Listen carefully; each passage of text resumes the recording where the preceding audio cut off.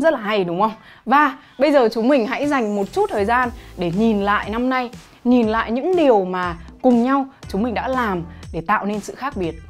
Chúng mình mong là các nhà sáng tạo và các nghệ sĩ cũng trở nên kiên cường hơn, cùng nhau học hỏi và tận hưởng niềm vui của công việc. Chúng mình đã được giải trí và học tập nhưng hơn thế nữa, tất cả mọi người đã đến với nhau để hỗ trợ lẫn nhau theo những cách quả thực là chưa từng có. Hãy cùng xem nhé!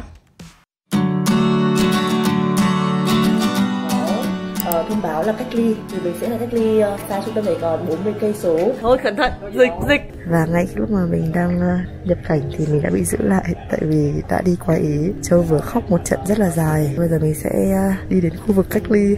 Khóc xuống rất là mắt rồi. Rồi bây giờ thì mình có một cái trò chơi và nó cũng là cái hệ thống mô phỏng luôn.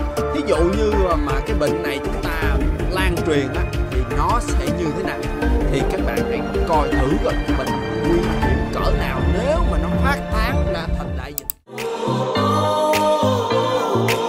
trong chân ta nên quyết tâm từ xa để dịch bệnh không bùng cháy lên cùng giơ tay xoa xoa xoa xoa đều đừng nên cho tay lên mặt mũi miệng và hạn chế đi ra nơi đông người để lùi virus corona corona.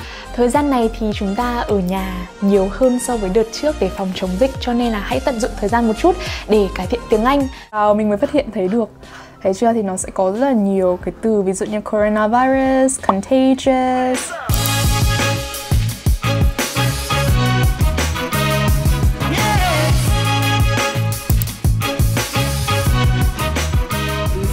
Châu ngày nào cũng update rất là thường xuyên là bởi vì ở ngoài kia có rất là nhiều những cái thông tin mà Châu nghĩ là nó chưa chính xác và nó chưa có một cái nhìn khách quan bản thân không thể nào mà thật bằng một người đang trải qua những cái cuộc sống như thế này.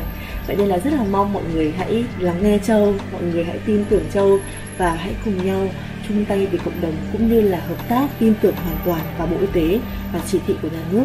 Chúng mình sẽ một người vì mọi người và hãy cùng nhau mạnh mẽ vượt qua thời gian này. Cảm ơn mọi người đã lắng nghe và